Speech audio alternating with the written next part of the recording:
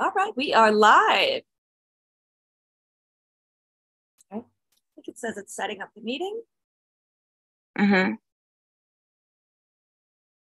Okay. All right, everybody, just giving it a moment to catch up to us. All right, we are live. All right, we are live.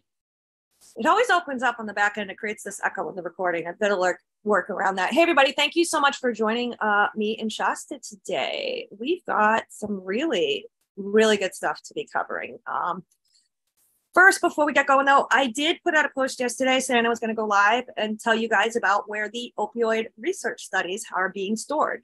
Um, and I never got a chance to do that. So I'm going to recap that really fast for you guys because I did tell you I was going to put it. Well, we did put an email blast out yesterday and a letter to the FDA asking for additional information regarding a public private partnership between the FDA and an organization called Action, A C T T I O N, which is, I don't have it right in front of me, but the analgesic, anesthesia, addiction translations, uh, blah, blah, blah, blah, innovations and studies, something like that. And they, this is an entity that is working with the FDA and has been working with the FDA since uh, 2002, when it used to be called IMMPACT.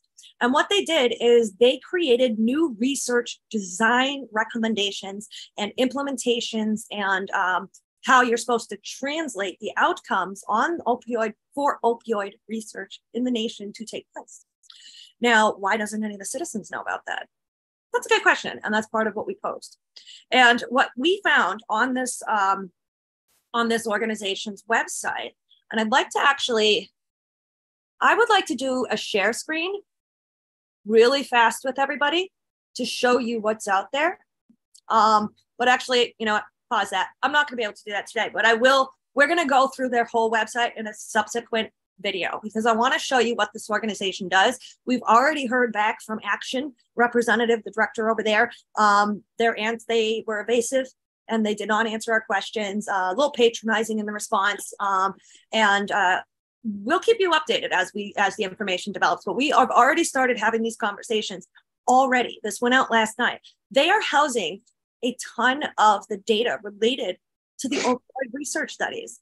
You know the stuff that has been happening to us and we weren't aware of well it's housed over there.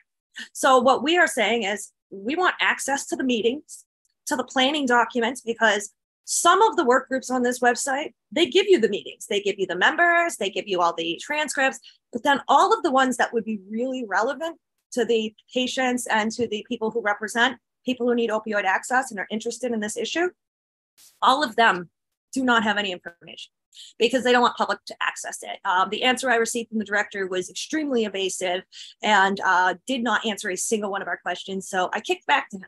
So, what we're asking you guys to do is take the letter that we sent out in our email blast last night. It is um, also on our website. If you go under the accomplishments tab underneath advocacy campaigns, I know it's really buried. We're working on cleaning up the uh, presentation on the website so you can find stuff easier. But in the meantime, that's where you're going to find our letters.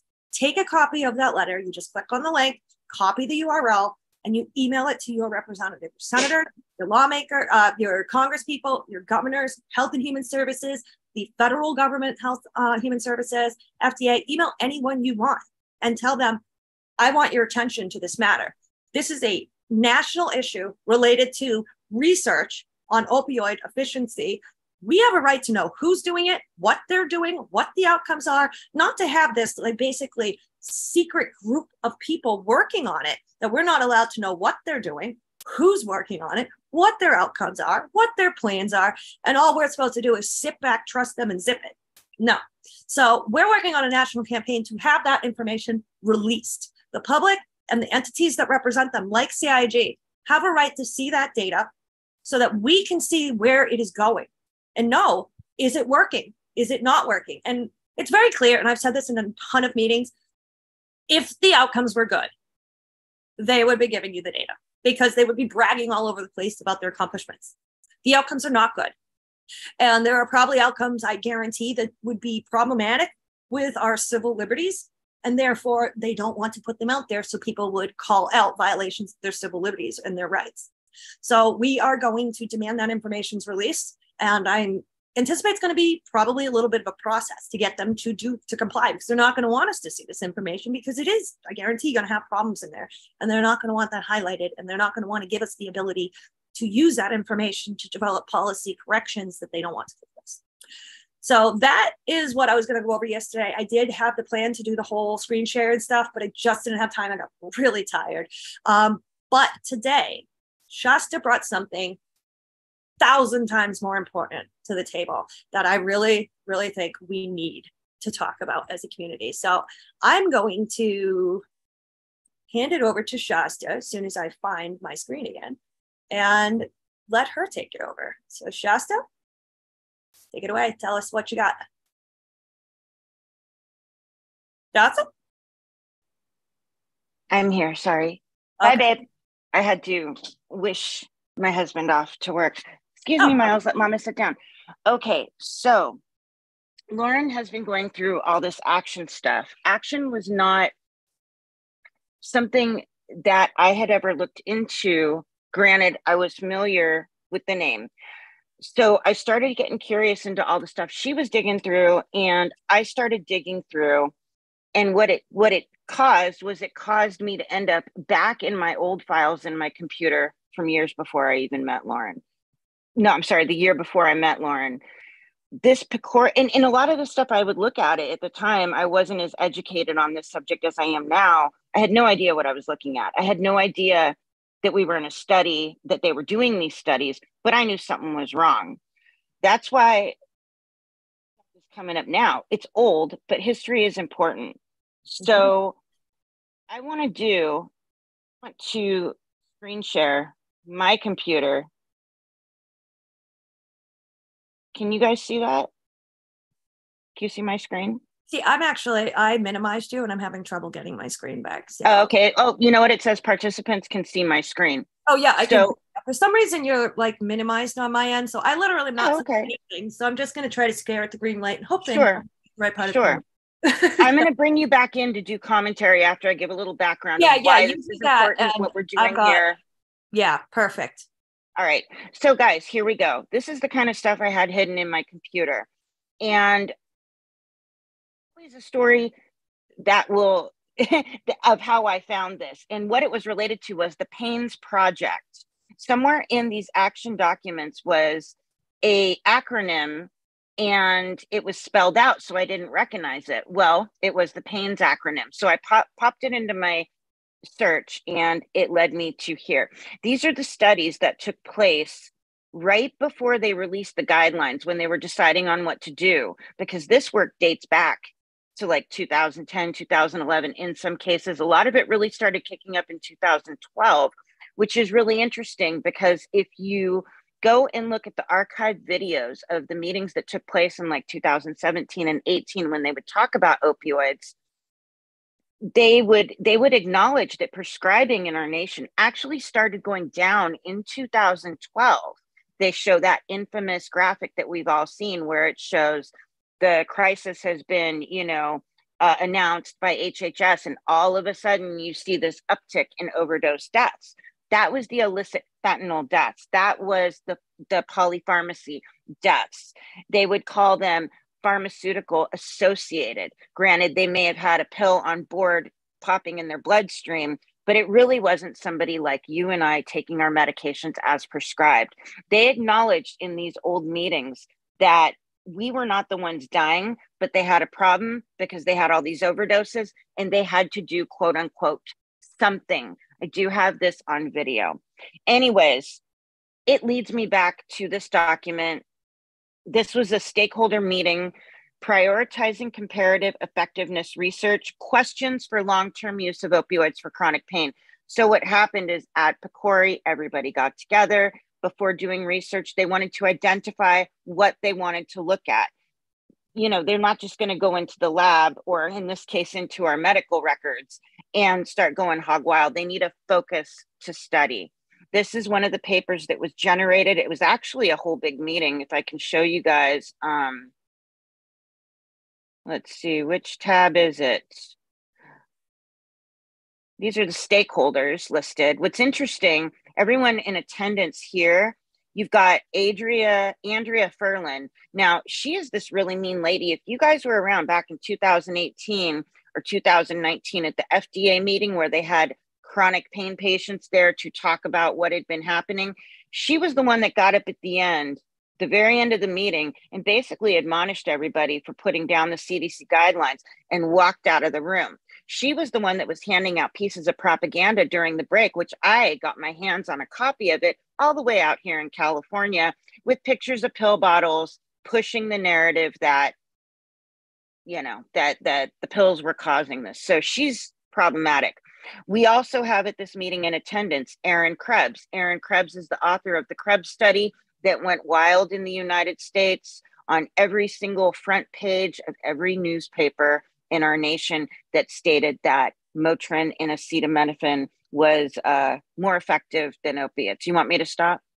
I have one thing to say about that. Um, with national media, if you see something like the Krebs study in every single media outlet like that, it's coordinated. They put that out on purpose. They wanted that study to be seen in the forefront so that they could make that policy change. That was not in the media by accident in every single publication and people need to realize that just like when they did um, the study back in 2018 that requantified the number of chronic pain patients down from 100 million to 50 million and my first question was where did the 50 million patients go and all the researchers came in and bamboozled me with excuses and and all that but that was in the media overnight because it was yeah. there is like a main communication channel between our federal offices and the mainstream media. So if there's any sort of message they want out to the public, they can do it instantaneously. It's not conspiracy. It's not. It is literally how they. How do you think they run the com- the world? We need to be able to react fast, like to real time moments. The government mm-hmm. has the ability to do that, and mm-hmm. they do all the time. So I just want to give it back to Shasta, but I wanted. Oh, that's a great point. People recognize she wasn't in the yeah. place by accident.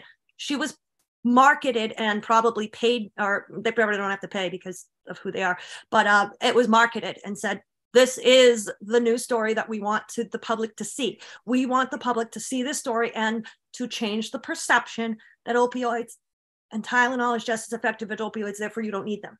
Opiates. Right. Right. Thank you, Lauren. That was an excellent point. I'm glad you you got my attention there. What I really want you guys to see, though, most important, we have Bob Twillman here and we have Bob the Pain Project first. Right. And then people need to know that. I spoke to right. him in 2018 trying to get the Pains Project because uh, I forgot the name of the integrative uh, American, whatever he was running back then. It was going out of business. It was going bankrupt.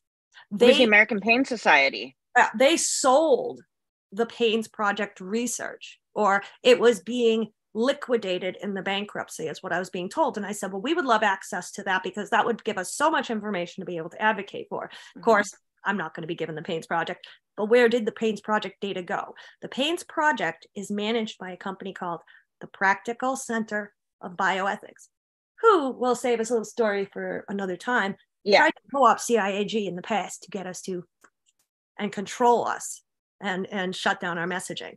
Mm-hmm. Um, so they are the architects, the primary organizations that started all the stuff that's happening to us. So if you mm-hmm. say what organizations did this to us, practical of um, yeah, American Pain Society, Bob Twillman's group, um, Cindy Leyland's group, the American uh, Bio uh, Practical Center for Bioethics, U.S. Pain, American Chronic Pain Association.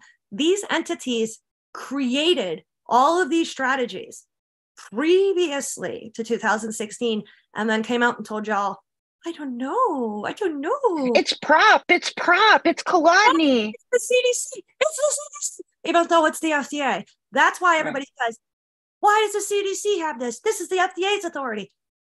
The FDA does have the authority. The FDA is working on it. That's why they're telling you to go look at the CDC because heaven forbid you learn and actually stop and advocate against what they're doing that would destroy their work because they would lose public support like that and they know it and that's why they're so anti-cig because we teach you guys what you need to know which destroys their fraud because that's all i'm going to say what they're running right now is fraud this is not appropriate.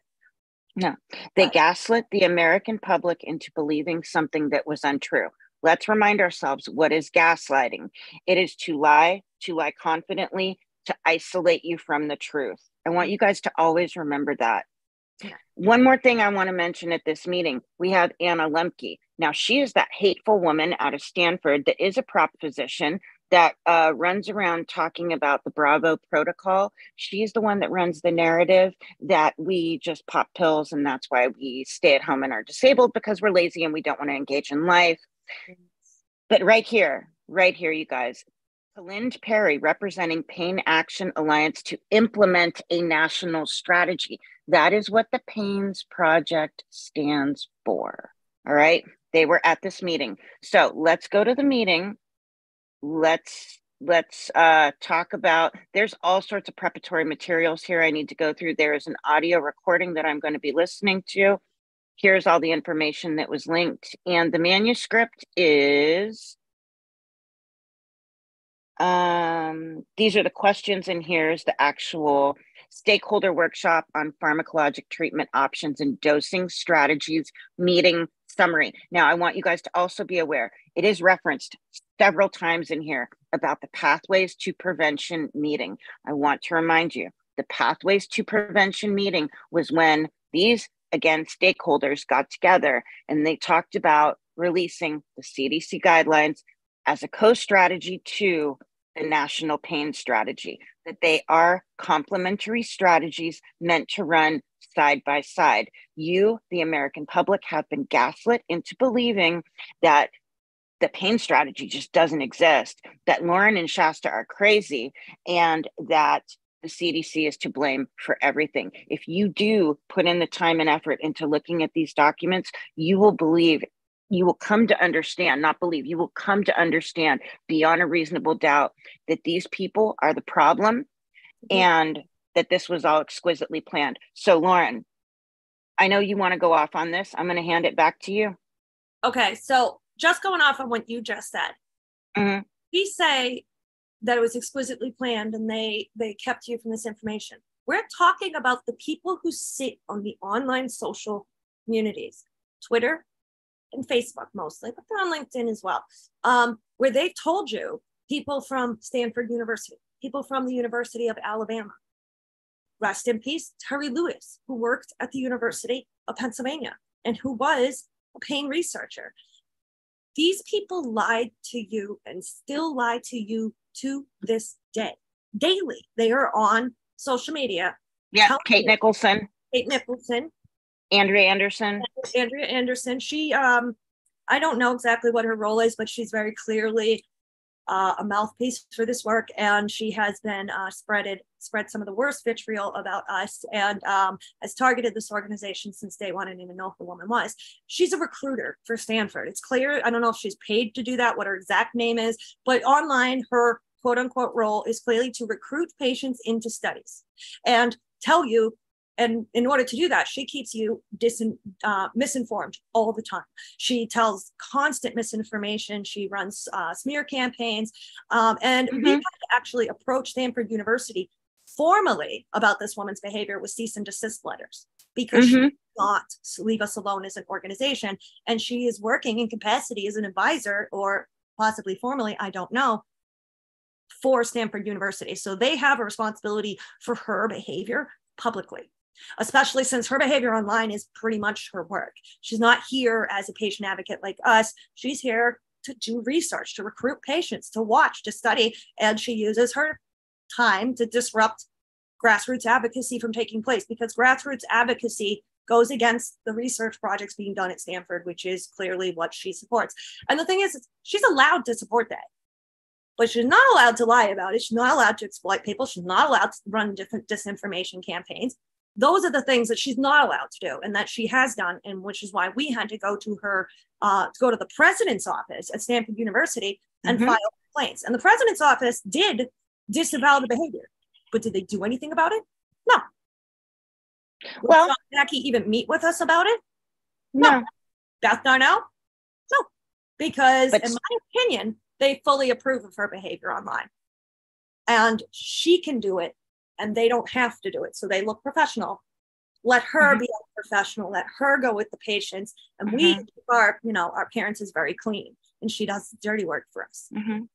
it, i do want it very reprehensible behavior i do want everyone to also take note though lauren and i think this is very worth mentioning after after that conversation with the president's office and the cease and desist letters were sent uh, that horrific twitter page defaming. Mostly you but us yep. um, stealing my video content, stealing our images, disappeared. Yeah. Well, wait, it, it's it stayed up. It came down and then it went back up, but then they didn't use it. And that, but they really stopped using it after, yeah. um, because I actually commented when it got taken down. I said, "Oh, look, I talked to Stanford and the page is gone."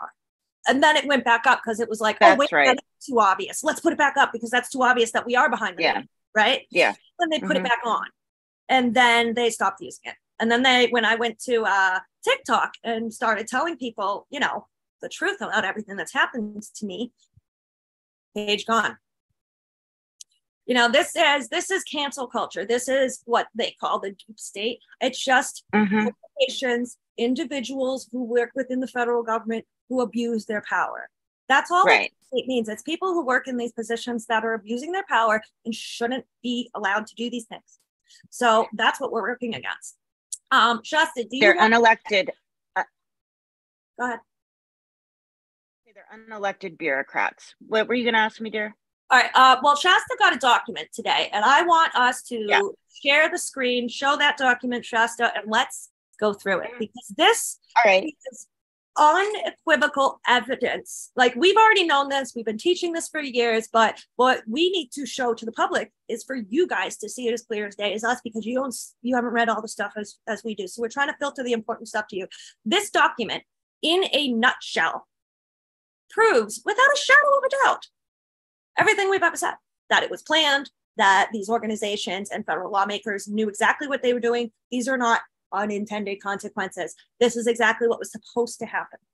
So let's pull it up. And this is a live uh, reaction because I've only seen one screenshot from this document. So we're going to read it together and you're going to get uh, a natural Lauren Popoff, which nobody ever sees with Shasta, uh, about how I feel about these things and about how Shasta feels about these things. She, she read it already, but she's got plenty to say. So let's share screen and read and see what this little bad boy has to say. It's seven. We're going to paraphrase it um, but on the one screenshot she showed me, do I have so much to say? so Shasta, you want to open it and just kind of read? And then um I do. And then we'll just comment. I'll put my hand up when I'm ready. Okay. Okay, let's right. get it going. The overview on June 9th, 2015, PCORI brought together a wide range of stakeholder groups to identify, refine, and prioritize comparative effective research questions regarding long term use of opioids for chronic pain. I'm not going to read every word. I'm going to skip. Yeah, I will make sure that we get this on our website so people can read every single word. We'll be here all afternoon if if I read this yeah, word yeah. for Just word. paraphrase. Um, they, points. they do actually acknowledge right here that chronic pain affects more than 100 million Americans. Oh, no. um, it says that opioids are associated with a number of harms, blah, blah, blah, blah. And then they give a list of the stakeholders, which I just shared and reviewed with all of you. It says that there were questions for discussion submitted by the participants, and they were reviewed by two opioid panels. And so here's the morning session. Um, let's get to the good stuff. They, yeah. you know, this is all boring, blah, blah, blah. Yeah, Category one. Category one. Um, for patients with chronic pain, what are the two comparative benefits and harms of the following analgesic combination regimens. I don't think, oh, okay. Comments included. The panel agreed this is an important question. There was much discussion within the group about what constitutes a higher dose versus a lower dose, something which has really never been defined. They just took, you know, took it out of uh, David is- Taubman's backside to come up with the 90 MME, but really it's never been defined. Uh, the panel discussed whether underlying conditions, subpopulations, which ones should be defined, blah, blah, blah. That's not really that interesting. I didn't read this that closely. Yeah, I think what we want to do, let me let me jump over here and because I'm pretty good at skimming um to get us right to the point. Okay, so Cat they basically made some um during the workshop, they talked about different things they wanted to do, like patient centered, the impact uh, of certain diseases on per, on the health of individuals and the population as a whole. So they basically like wrote out things that they wanted to focus on and then wrote out their talking points. So under category one, they created something about pharmacological treatment options. And they said one of the questions that were posed that stated that in patients with chronic pain, what is the comparative effectiveness of opioids versus non opioid medications or compared to opioid outcomes related to pain, function, quality of life? So basically, they wanted to say, what's the difference? What are your uh, the effectiveness of these two in comparison? What have you found in your research? Is what they posed to PCORI. Um, and they said for patients with chronic pain, the comparative benefits and harms of the following analgesic combination regimens non-opioids no opioids so no opioids versus um, non-opioids with limited as needed access and non-opioids with a day uh, with a daily dose of opioids up to 100 mme the study design should include flexible drug and dosing options with defined parameters for each arm treatment to respond to targets. So this laid out the stuff that they're going to want to quantify. They don't have this. So they're saying these are the three types of study groups we're going to create through population research. Um, and it said the comments added the uh, they agreed that they didn't know what constitutes a higher dose, what Shasta just said. And that is this is basically showing you the discussions before the CDC guidelines that they didn't know what a proper dose would be. And this is less than one year before the issuance of the guidelines. I would guarantee right now, while this report was being written, the guideline committee was being put together at the same time because oh yeah year lag time between publication and committee yeah. so when this was published the cdc has already brought together their committee to write the guidelines and right here they're acknowledging we don't know what oh.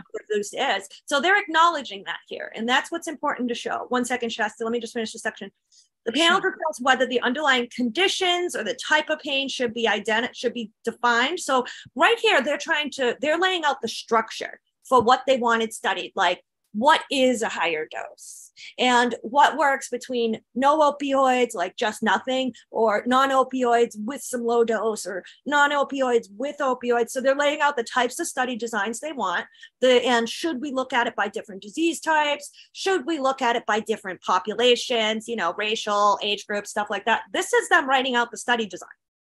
What were you going to mm-hmm. say Jessica?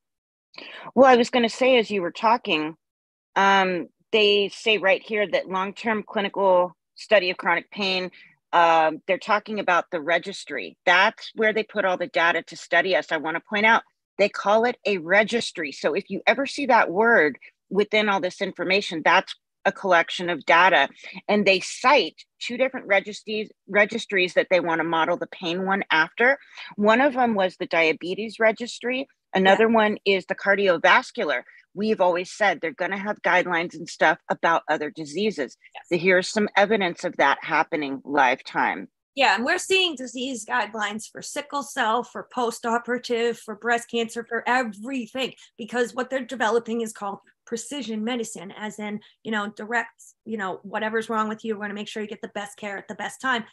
That's what it's supposed to be. That's not what's happening at all. Um, so, this next section uh, a question that came up said for patients with chronic pain, what are the comparative benefits and harms? Oh, wait, sorry, that's what I just read. Uh, what is the long term benefit slash risk profile of opioids? So it's interesting. They want the risk. This is all about risk benefit analysis. This is why I'm also good at it. I used to do risk management risk cost it, uh, it's, it's, a risk analysis you look at the platform and you see what are the potential risks of this thing and mm-hmm. what are the mm-hmm. harms of this thing and if the risks and harms outweigh the benefits you don't pursue but they don't in this case so oh.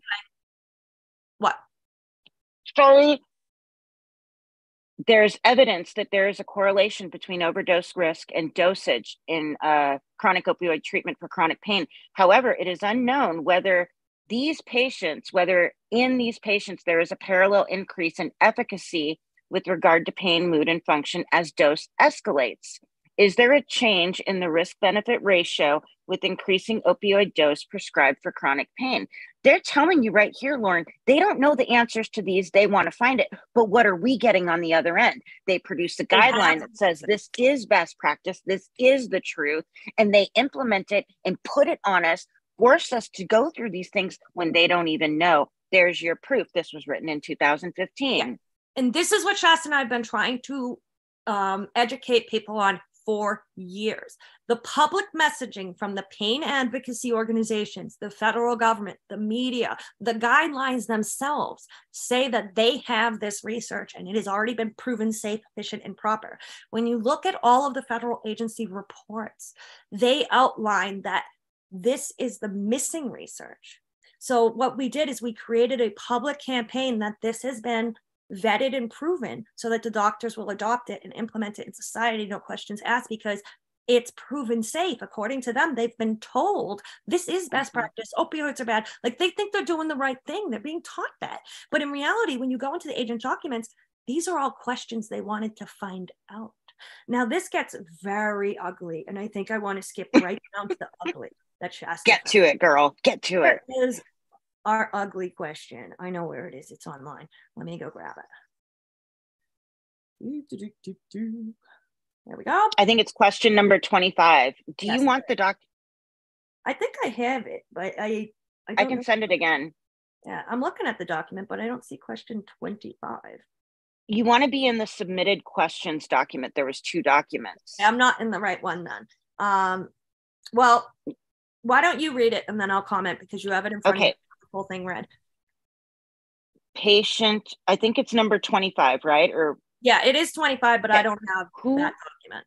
Who are the patients with chronic pain who derive the greatest benefit and least harm from long term use of opioids? Stop. Go ahead.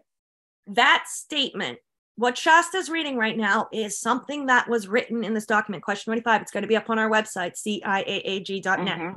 And this is clearly stating who are the patients who get the best, the most benefit with the least harms. Okay, most benefit, least harms. Chronic pain patients.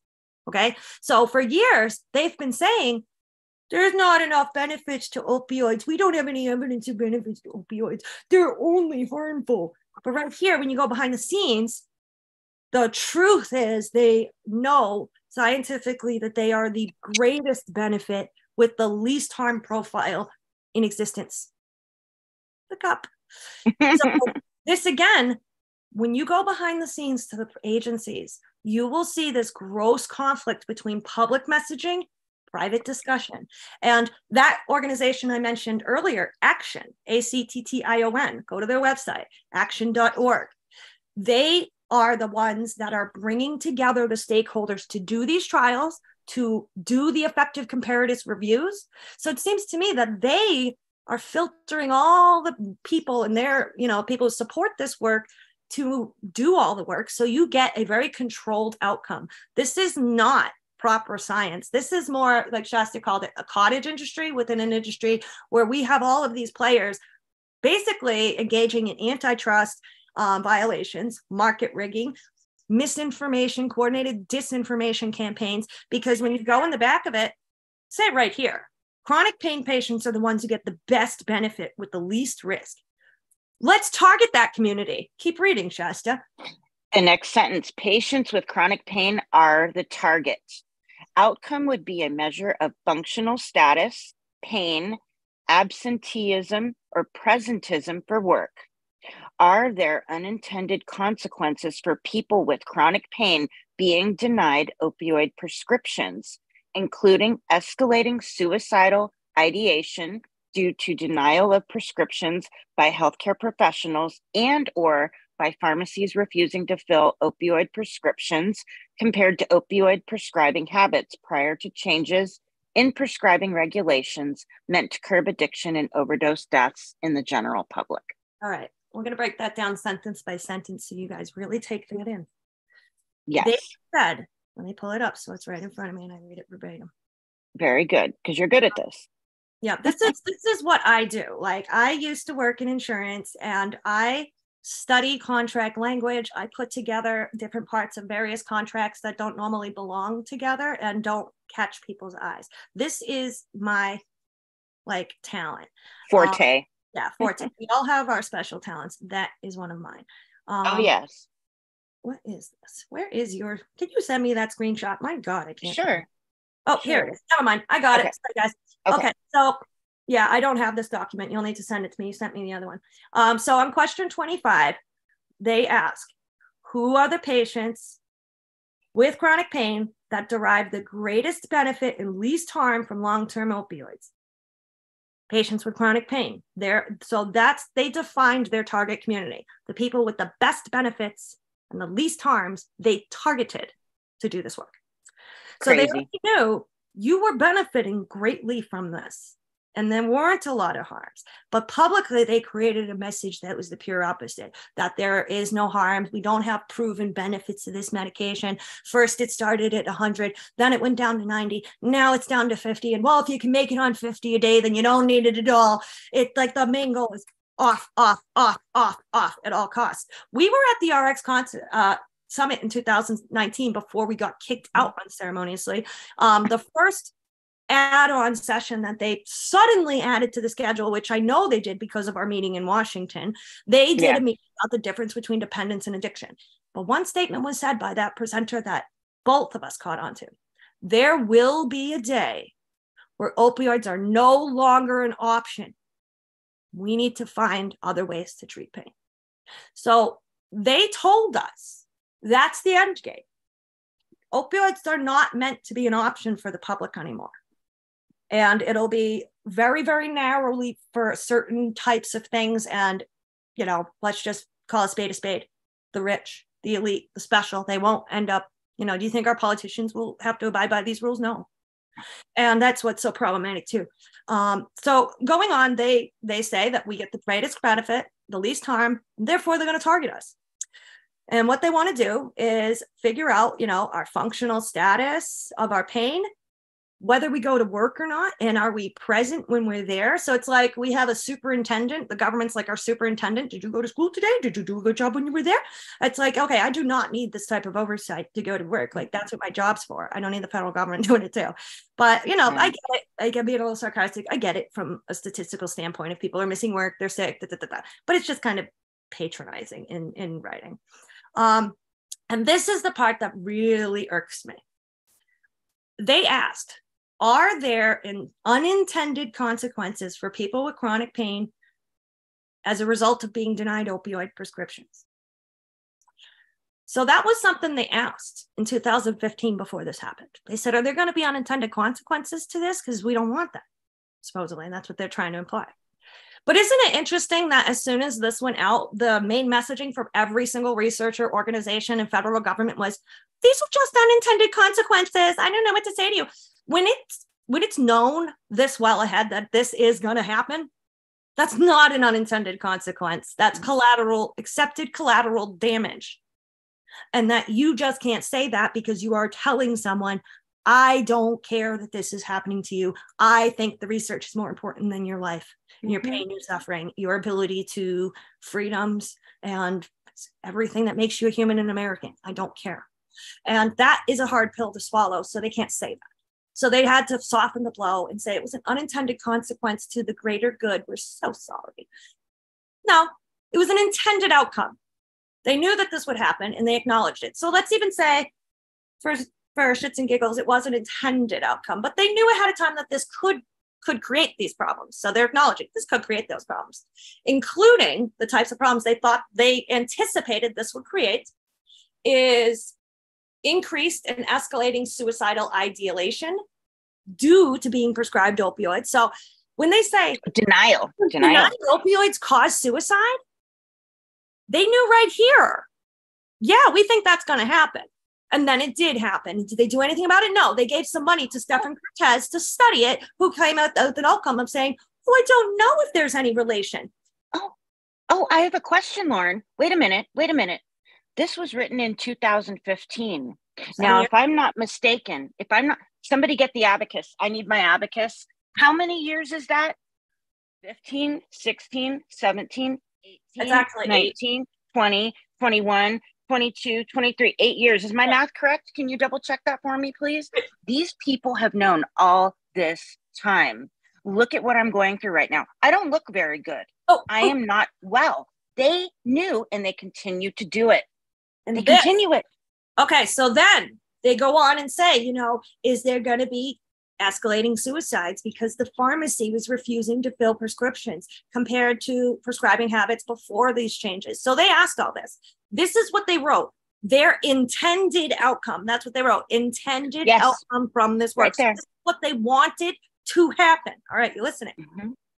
identify the unintended consequences. So they said, roll out this policy and then see what problems pop out. Unintended consequences, do they happen? So that's what they said. Intended outcome is for that to take place. So identify the unintended consequences of chronic pain patients being denied opioid medications. So they planned ahead of time to deny this entire community access to opioids not because it was medically warranted, because it was socially desirable and because they wanted to research what would happen to us when they did it. And then they said, after they identify the unintended consequences of patients not being able to get opioids and being denied, that would help the healthcare system and our lawmakers in developing a program that would allow chronic pain patients to continue their opioid medications or lead them through correct procedures to address withdrawal symptoms and reduce the possibility of suicidal ideation caused by escalated pain and sickness as a result of the withdrawal. So they're acknowledging that the withdrawal itself can make you suicidal and kill yourself. And they said right here, the intended outcome was to create a system to make sure that chronic pain patients continue to get access to opioids. Have they done that?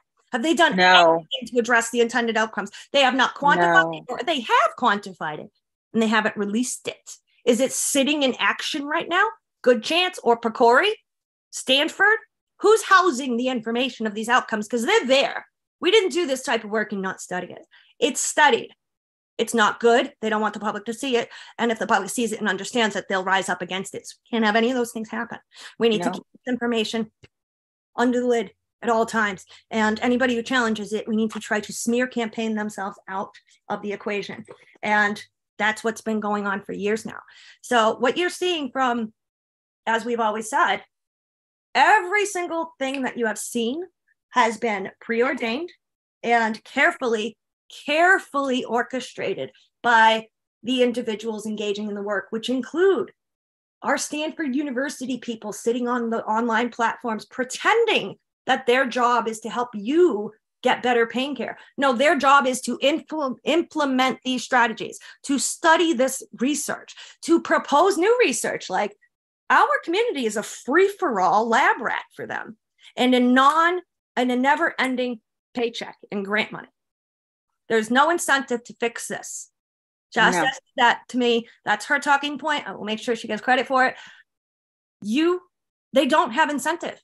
Like Stephen Kertesz from University of Alabama, he did a study, and as far as I know, he's one of the only ones who's told the public. I'm sure these studies might have taken place with other people, but we don't know. We don't have access to it. We're not aware.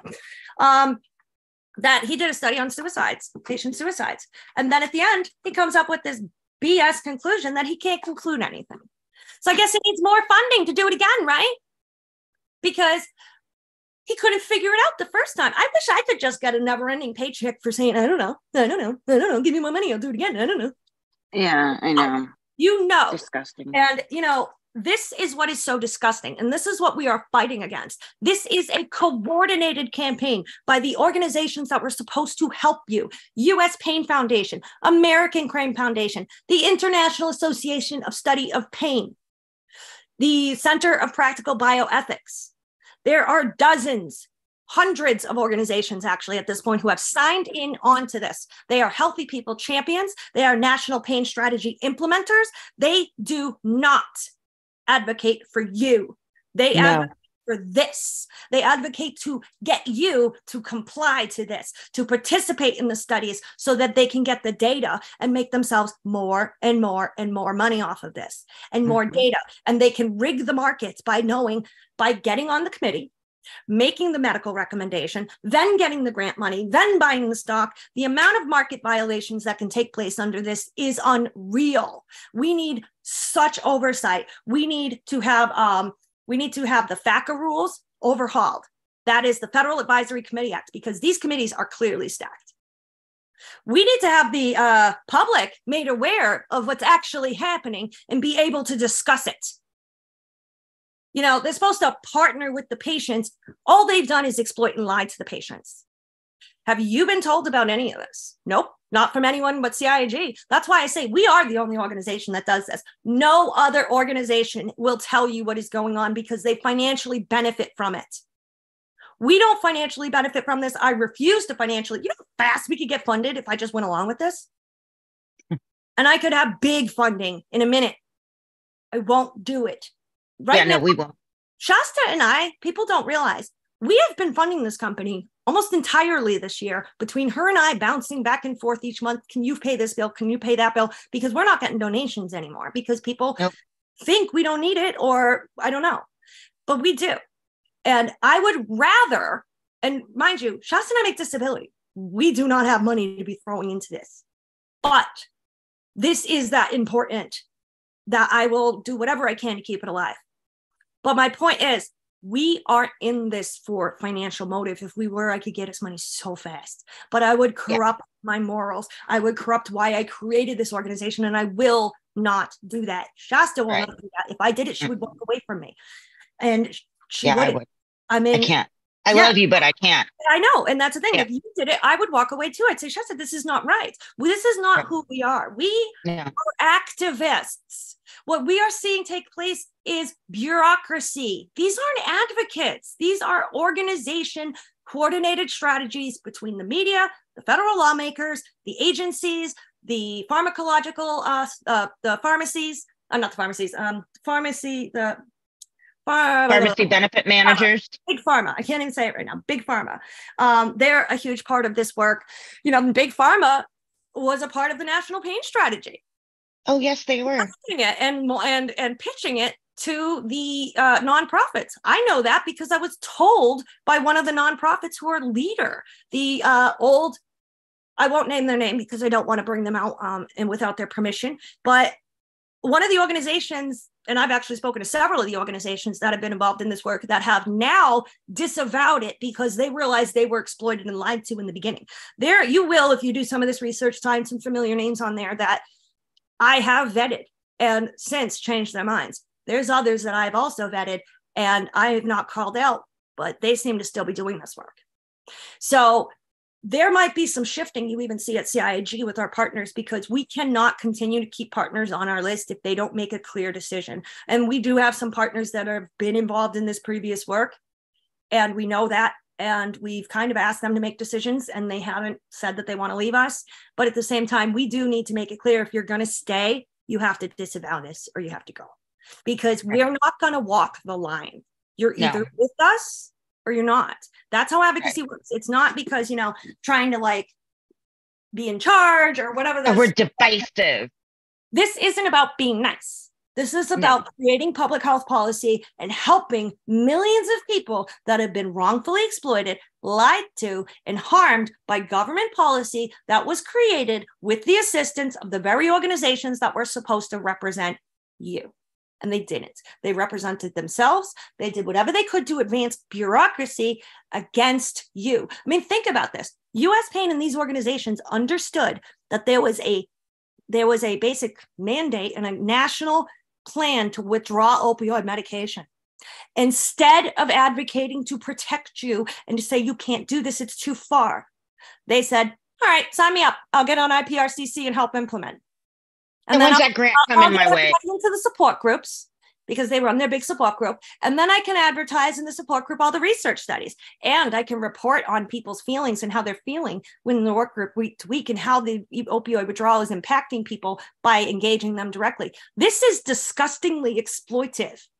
You are pretending to help these people, and you're really the one doing it to them. How is that even legal? How is that even legal for these scientists? You're not supposed to run a scientific study and engage the subjects. Shasta and I are doing a little research into um, into how the researchers are using social media and what they have done to social media. Twitter is no longer social media. Twitter is a surveillance platform. And they use it like there is more researchers and industry people on Twitter than patients. And that yeah. is so messed up. And we realized that because we got attacked. And then when we suddenly sent our letter to the president about the misinformation about the behavior online, it's been dead quiet ever since. Now, most likely, people just saw that letter and said, I don't want to be seen doing this and just stopped doing it because now it's been brought to the attention of someone that they don't want to be seen doing that in front of because that could affect massive funding for their entities. And they don't want to be seen doing this behavior. So now that it's been brought to enough of an attention, they ceased the behavior. So CAG has been able to work for whole six weeks undisturbed. Whole six weeks in six years, whole six weeks without disturbance. And that's because we can finally talk to you guys. And we're going to pursue this. As you've seen, we slammed out three campaigns we're going to keep going. Shasta's going through a horrible situation of forced taper right now, and she's still with us pushing. But we might slow down because of that. I've got to go through some health stuff soon too. So you might see a little lull, but we're going to keep going. We've got huge, huge, huge plans. And you might see that lull and that we're not producing new stuff, but that's because we're pursuing this now. So we have three campaigns at CIG. One, I'm gonna well, I'll let Shasta run her campaign and talk to you about it. But there's two that I've spun off of me because they're both our campaigns. They're cig campaigns but like right. i'm going to take the lead on one and she's going to take the lead on the other so we split the work. That's what we see that's what her and i do all day long. You do this i do this. Yeah. you do this i do this. It's the way yeah. we get it done. And we have a third board member as well that is uh, not public who does a lot of stuff for us as well. Um, that's how we get all of this done. Very very careful planning and conserving of the energy we do have. Um, right. so my campaigns that i've started have to do with um, first one was the IRB waiver of informed consent. In 2017, the FDA issued a rule change that said they can waive or alter the requirement of informed consent for human clinical investigations as long as it was deemed minimal risk. Well, that was in order to pave the way for this work to take place because, as we can see here in PCORI and all these documents, they needed to study the outcomes on the patient. And in order to do that, they had to get rid of some rules that said that you weren't allowed to do these things. So basically, they just removed human rights so that they can do this. I mean, we've seen in Stanford University is infamous for advocating, they are still advocating for more human rights and more informed consent to be removed so they can openly investigate and uh, study you. I've actually recently found that, that Stanford University is also staffing committees in the cyber liability area and arguing and, and finding loopholes with freedom of speech to shut down freedom of speech things.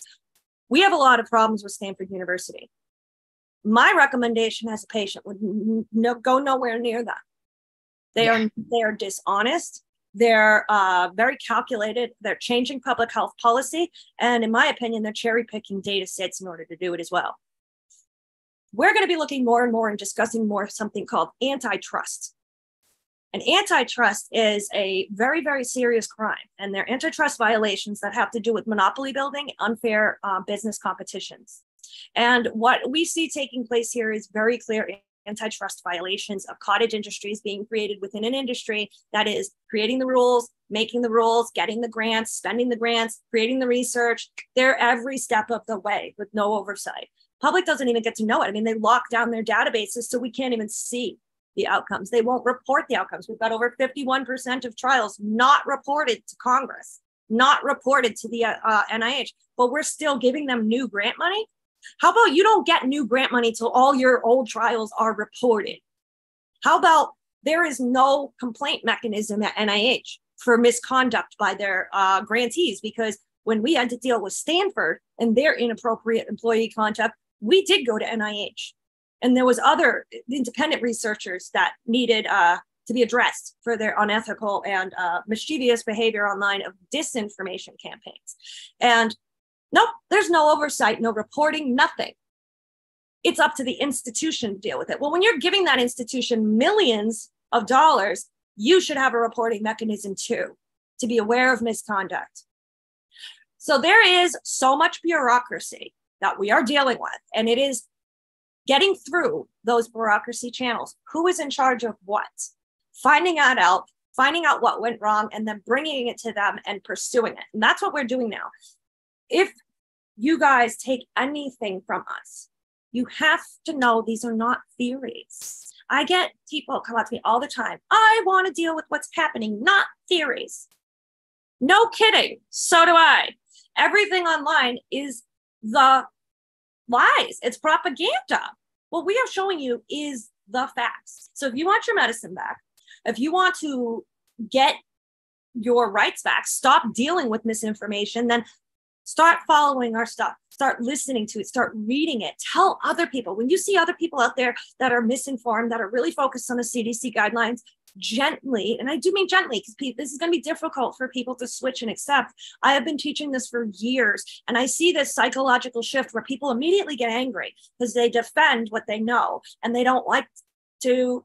Nobody wants to be disillusioned, and it's an it's upsetting process to go through to be disillusioned.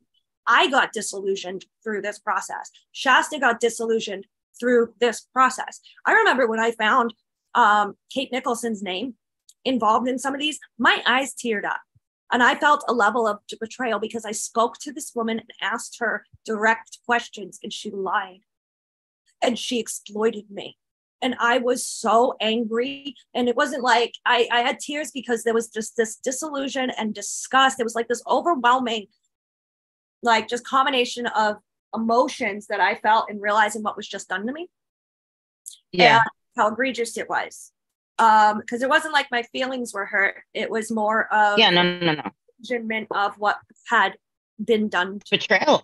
Betrayal. Betrayal, betrayal of these you were gaslit and lied to. Gaslit lied to abused. These people pretended they were better than me. They told the public that i was crazy. And it's like wow. And turns out that literally you are the you're the opposition you're the one who did this to everyone you are the fraud you are the liar and you went after me and that is disgusting. And that's why I don't have a problem saying their names because you know what? They did these things. it's factual. Right. People should know the type of people that represent these organizations. I tell you guys exactly who I am. Shasta does too. We're on video every day, ramming down your throats exactly what we believe in because we believe in it. These people won't do that because if they tell you what they actually believe in, you would advocate against them in two seconds and they know it. So they have to keep you, you know, uninformed and keep you in this like state of complacency where you do not advocate for yourself because if you advocate for yourself you will take down their work. And that is literally the last thing they want to happen. Right. And you know this this letter by PCORI just shows it. We're going to put it up on the website it's going to show you that this is what they did this isn't a, a theory this isn't a possibility this is what did happen and this is what we are dealing with and this is what we're combating now these were planned outcomes. Like even that right there, it said that they were supposed to see what the identified consequences were. Uh, and then once they were identified, develop a policy for continued access to the patients or walk them through proper tapering. The only thing we've seen happen is being rammed through tapering. Where is the program to ensure proper access? That is now right. We can start posing according to this right here, planning documents, you were supposed to XYZ. It's been eight years. Where is it? That's something now we're going to advocate on. See, this is what we do, Shasta and I. We go into the old documents, yeah. okay. documents, and we just read them. And we read them. We read the meetings, we read the transcripts, and they very openly planned this. It only got quiet in 2016 upon implementation because they didn't want the public to see it. But prior to that, this is everywhere. So we're going to publish this for you guys to see it. There's a lot more to the document than what we went through today. But question 25 in a nutshell tells you we know chronic pain patients get the best benefit and the least risk. We're going to target them to take them off medicine. Okay. Now, if that isn't a pure discrimination campaign, I really don't know what is. And one of the things yeah. that Miss Nicholson, Miss, uh, I used to work for the Department of Justice, so I know the law and tells everybody what they can and cannot do. I spent years trying to defend the federal government from allegations of civil rights violations. She runs in there so fast to tell us how this doesn't violate our civil rights in any way, shape, or form and to stop talking about it. That's because Ms. oh, yeah. knows that this definitely does. And therefore, if the public starts discussing our civil rights about what they're doing to us, that we might actually win and they might start losing. And that is what their purpose online really is to keep you from having these types of discussions that would influence grassroots advocacy and would actually cause them to lose their funding and get you to get your damn rights back. That's what they do online. So when you see these little bloodsuckers sitting online, they are predators. And I'm not going to mince my words. To do what they are doing is highly predatory, it is cruel, it is highly calculated. And I firmly believe that they should be held accountable for the years of mis not mis disinformation coordinated campaigns they have ran on social media. And that includes Dr. Lawhern, by the way, because Dr. Lawhern is uh, very well apprised to what's going on and denies publicly that he understands it and has oh, yeah. way to discredit the truth. Pain News Network, when faced with violation of a nation and asked if he would, if he would, you know, talk to us about it, nope, that he said it just looked like crazy conspiracy and da da da da da, and it was unsupported. Has like literally pages of supported documents. It has been internationally published by the International Drug Policy Consortium. That is an NGO, non-governmental organization that acts as like a liaison to the United Nations. They are the ones who create drug policy for the world. They ran our report because it's accurate. They published it. Our report is sitting right next to the Lancet Commission report. you know, we want to talk about valid, it's valid. But did Red tell you that? No, Red went out there and told everybody it was it was conspiracy and keep focusing on that CDC at all oh. costs. Oh, but then we wrote a crisis exploited and he publicly supported it and Until promoted it. That. Right. Just about it two minutes later and called and us. just about it. Because yep. he yelled at. Uh, he said, after I supported it, I started getting a series of emails from professionals uh, talking about your behavior and blah, blah, blah, blah, blah. And I'm like, what? And then when I tried to tell him the truth, he accused me of lying. He said that I'm not helping my case here and that he will consider supporting me as he watches my behavior going forward. Excuse me, Grandma. Yeah, like a little girl are not my father. You are not my grandfather. And I'm sorry, I didn't care nor ask for your approval, sir. You injected it into me and tried to control our platform. Why? Because you think you're better than me? You're actually a very condescending person and cruel. And I've seen the email thread, so this, this is, is, not accurate. a nice person. Um, you know, no these and he knows exactly what's going on politically. He works and and participates on it and baby. tells the public that he doesn't know. So he's just as culpable as the rest of them. That's why you don't see cig nor near these people. When everybody's always asking us who's the bad guys? Who's the people who know? Researchers. I don't need to name them. They identify themselves. Red lawhern pain news network all of these people have been feeding you lies for years, calculated lies. Pain News Network gets funding. They get paid to run those surveys, to get data off of you, not to help you get your medicine back, but to gauge how you're feeling so they can do the strategy to keep pushing you off. Oh, yeah. And then whenever Lauren and I start making a little traction, they, they oh. run their famous little story about uh, the community and why is the community so fragmented? Because you guys are fragmenting it. Yeah. Because you're gaslighting everybody and you're lying. Yeah. And the community is not fragmented at all, actually. We not at all. all in sync. They are the research community trying to disrupt advocacy. So in reality, Correct. is no there's no uh, disruption in the pain community. There's disruption to their their uh, strategic exploitation. What they want, like that. So they, they want to absorb us. They wanted they to. Don't want they've been trying to, to exist. Yeah, they've been trying to absorb CIG since the day we got here. Practical pain. Uh, the bioethics tried to do it a few years ago. Um, we've had pediatric uh, associate or the not the pain, uh, one of the pain societies I didn't remember the physician group that we met with there that tried to scam us and say, "Oh, we're the ones who get people on stages, and if you just join us and stop." That was bioethics. I'll get you on stages. Well, you know what? That was bioethics. That was bioethics. I will get myself mm-hmm. on stages. Thank you very much. And I am not going to sell out my morals, ethics, and everything I ever did for a little bit of attention. So you all seriously underestimated my moral character and thought I could be bribed with very, very low level stuff. And I have oh, because they don't have character. Yeah, they don't have character and they they jumped right at the opportunity. So why wouldn't why wouldn't I? Well, because I have character, I have dignity. Right. I don't want to exploit people. I came here for the right reasons. Therefore, I'm not going to mm-hmm. I have no interest in it. If I had to do that, I'd just leave. I wouldn't do this at all anymore because I'm not going to help implement something I don't believe in.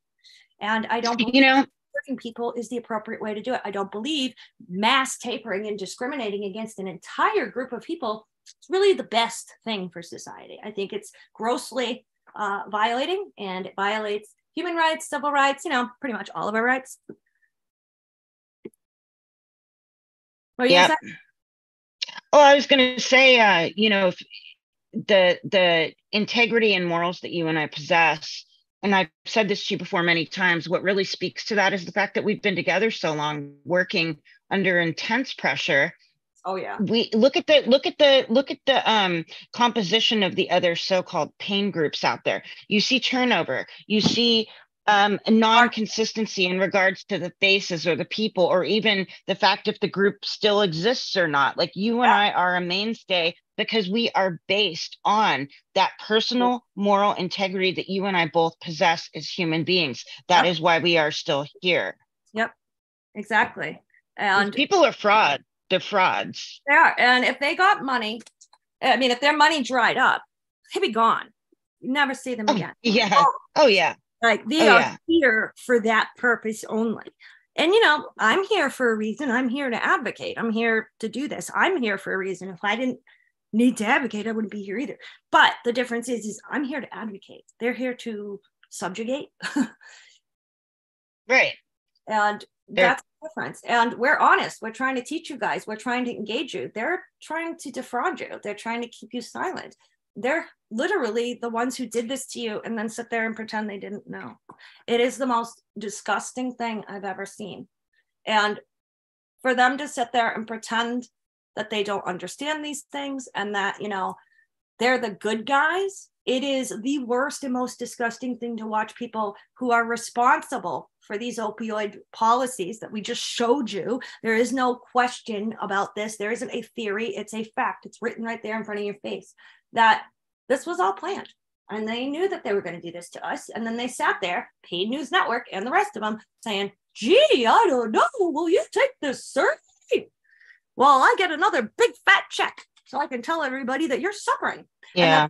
unintended consequences of suicide ideation and all of that are taking place, but we're not going to do crap about it. We're not going to run studies. And if we do, we're not going to publicize them. We're going to tell the public that these are unintended consequences. And once we figure out the research we'll fix it. Oh, you mean once you finish experimenting on the general public to a sufficient level, maybe we'll get some medicine back for certain communities, possibly. No, this is what they did is a disgusting violation of human rights. And this goes way beyond opiates. People have to realize opiates is just one community. They are doing this work with Alzheimer's, with uh, various diseases, you know, sickle cell, IB, uh, irritable bowel syndrome. Like they're doing these guidelines and studies on fibromyalgia, chronic fatigue. They're gonna all get it. Arthritis or uh, everything, everything, because it's precision medicine where they want to make precise medical steps, step therapy basically, for every single disease that is the most cost effective for the healthcare system. Not best for you, cost effective. That's important. Remember, these policies aren't designed to help you, they're designed to help yeah. They're designed to help financial burden of the healthcare system, not your ability.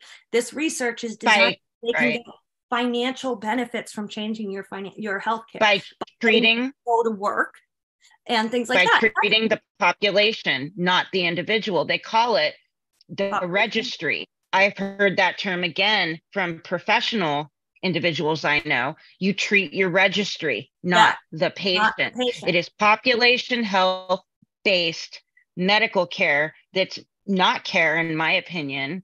Yeah. Um, so that's why they're going after all the self management stuff. As Sink a, or swim, get your ass back to work. That's all we care about and as an old insurance you know? person, I can see like that. What that treat your registry? That's an insurance thing. They have you. Tr- it's your book of business. You look at your overall book of business to see how it performs, and then you get paid on your overall book. If you have a positive book of business that doesn't have a lot of losses, you make more money. So it's very much that's an insurance um, tactic, and you know that's not surprising given that insurance is such a major driver of these policies because of the expense of healthcare, because of the expense of opioids with all the frivolous lawsuits they've brought forward, trying to, you know, and that makes it interesting too. You know, when this statement right here from PCORI says that opioids are the safest with the least things. So how are all these uh, pharmaceuticals being found guilty when y'all acknowledge that they are actually wicked safe? So it's like, are you seems to be abusing the judicial system too. Like with everything we have at CIG, we found a law firm to take this. This would be enormous for the citizenry. And what we need is a law firm willing and looking to do something like that. But I'm not putting my money in that. A lot of people say we need a law firm. Yeah, wouldn't that be wonderful? I also need a million dollars. I need my health to get back. Like we can't advocate on the ideas of what if we have to advocate with what we got. And by advocating, maybe one day that will happen. And when it happens, we take that opportunity up. All the stuff that we do at CIG, we focus on what we can do right now. And it is built on a long term structure, but it's like, what can I do today that would make a difference? Even if it's just me and Shasta fixing up the website so that the website looks good so we can get some funding. It's all about small activities, one step at a time, so that we can take this and fix it. Because this was carefully executed against the public. And it's been eight years. There is no excuse to not fix it at this point. That's what we said, or I said, when me and Shasta were in the meeting in Washington in 2019. What I said about this issue when we asked for, because they asked me, what is it that you want? Like, what is your ask out of this, out of the violation of a nation? I said, and I'm paraphrasing, but um, it was something to the effect that it would be irresponsible. Like I point out that you already have the research that people are getting hurt. You know that you have the ability to do an immediate press release. I pointed out the 50 million and how I know that you can do that. It's very clear. Please do so. And then we got the FDA announcement and subsequently the CDC. And then, you know, Kate Nicholson and Stefan Kertesz and all the usuals ran in and said they did it. And they coordinated with the CDC a press release. So it's very clear that that was another, that was very insulting for CIG to do something so tremendous for the community and have these industry actors place themselves in the media and tell the media and the public that they were responsible for it. If it didn't, if it didn't come from us, that never would have happened. It was against what they wanted. They also needed what it was is was damage control to make sure that the public didn't know it was done by us because you'd get behind us at that point. They couldn't have that. So they had to put it under them and say, we did this. But in reality, we pointed out, we said to them, it's irresponsible at this juncture not to make a statement against forced tapering. You know it's hurting people. And they agreed with it. Thankfully, they did, and they did the statement. This is along the same lines. It has been eight years. You have the data. No more excuses. We want a safe supply. We're always hearing safe supply, safe supply, safe supply for addiction. Where's our safe supply? Getting cut off. No more. This community needs representation. This community needs uh, a safe supply. And this community deserves to be fully integrated into the national work. No more lies. No more bullshit. And CIG is here to do it. And we are going to build a massive corporate coalition partnership until we get big enough to make this happen. And that's what we're going to do. And I hope like your participation as members is going to make this happen sooner or later. If you participate, it'll happen sooner. If you watch, it's going to take longer. And I actually just heard my little girl fall. So we've been on for a little while. She just got home. She went to the library right. crying. So I'm going to run to my Bella because she just. All right. Um, so thank you for tuning in. And uh, Shasta, I'm sure I'll talk to you after this. And um, yeah ask questions ask questions tell everybody point them to our website engage in the activities we've got multiple calls to action Go to CIAG.net under the accomplishments page. Scroll to the thing that says advocacy campaigns, all right there. And we're going to clean that up and make it easier to find. So bear with us. Um, hope you all have a good day and share this video. Tell your friends, get it out there, and help make us help be a part of the change. Don't watch us, help us. Yeah. All right. Bye. I can't close this, so I'm going to responsible you to shut this down, Shasta. I can't seem to close my window.